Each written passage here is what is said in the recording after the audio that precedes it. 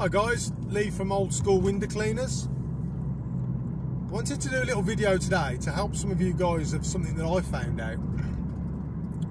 If you are, this is for guys that are doing, um, whether you do soft washing or power washing jobs. This can help you save a lot of time travelling around to quote for jobs you can always get somebody if you if you've got an advert on Facebook or if somebody rings you up, you can always get them to uh, WhatsApp you some photos of the drive. But it's obviously you're not going to tell the size of the drive from the photos. So this is where Google Earth comes in really handy. If you go onto Google Earth and put the customer's postcode in, it'll come up with the aerial shot. Um, of the of the, of the house. You can then obviously have it as 3D, and you can you can scroll around and look at the how many windows there are, and is there a conservatory or an extension, and and all that sort of thing. But obviously Google Earth isn't that updated. So what I do is go on Google Earth, I take a screenshot, and I send that to the customer and say, is this the correct house, and is this how your house is now? And they say, yes, that's how it is. So what you then proceed to do is you zoom into the to the, to the house on the, the 2D aerial aerial view. So you're looking right down on top of the house. Up in the top top uh, sort of slight right hand corner, there's some icons and there's a ruler icon. If you click this ruler icon, you'll get a crosshair come up. If you put the crosshair on the corner of the drive and click click it, that that will make a start point. What you do then is you drag the cursor line across to the other side of the drive, click it again, then down, click it again, across the front of the drive, click it again, and back up to where you started. When you click it back up, it completes your grid. A bit like a dot to dot. It completes your dot to dot. Because you can do any shape. Um, obviously, if it's a, a, a curved shape, you just slightly go over the curve just to compensate for the curve anyway. Google will then tell you what the square meterage is or square foot, whatever you want to set it as, but it'll tell you what the square meter is of that area that you've just pinged out with your dots and dots. So Google Earth, as I said, it's it's quite I wouldn't say it's old. It's it's not as up to date as it could be. I've used it before, and people have said, "Oh, a, we've got a conservatory on the back of there now, or we've got a Lay-Z-Spa jacuzzi there, or, or something like that. So I went out the front of my house, and out the front of my house, where there's a, a row of four houses, one, two, three, four, five houses. Sorry, a row of five houses. There's six parking spaces out the front, um, and, a, and an in and out drive for the for the for the houses. So I used that as an example. I measured it out, and then I went out, paced it out, and it was spot on, to be honest.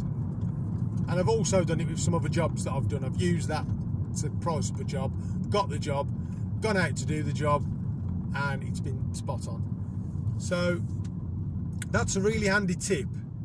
Um, even if you're not comfortable doing that and you think, oh, I don't know, I could be underselling myself, you can use it as a guideline because I've used it as a guideline. I use it as a guideline. I, I ping it out and I think, right, I'm going to charge two pound or two fifty or three pound per square meter, whatever you want. Work the price out, and then say to your customer, it's going to be approximately X amount of money, but I would need to see it. If you're happy with that, we can come out, we'll do the work that day, and we'll we'll tell you the exact price when we get there, but it will be no less than £200, but it'll be no more than £250. Um, and customers are happy with that. I've done it and they've said, yeah, I'm happy with that. I've gone out and just kind of sit in the middle and I've said, oh yeah, it's 225 or it's, it's this much. Um, I think with, with power washing, I don't know how other guys do it if it's really green and really bad, um, the, the, power washer is going to shift it anyway.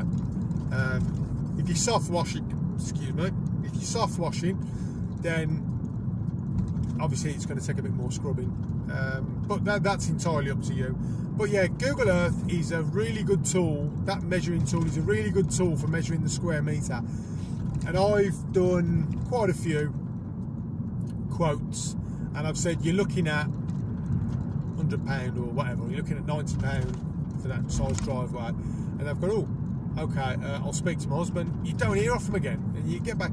Oh, we're going to leave it till the summer, and I'm thinking that that's great, and I don't mean this in a horrible way, but I could have spent an hour of my day driving over to your property to have a look and pace it out and quote you, and you don't want the work done. You've just cost me an hour, and that's that's where it comes in real handy. It kind of, it, it kind of more than anything, it sorts out the messes from the people that really want it done. There's a lot of people are just wonder how much it would be.